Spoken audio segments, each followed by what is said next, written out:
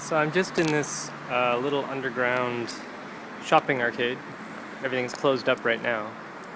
But, uh, you know, you get these in Japan a lot. But I just wanted to show how, amongst all this, there's this very old building.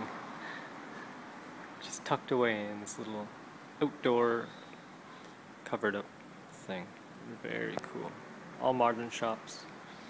The shutters are all down and stuff. There's one across the street too, and then we get this. Very cool.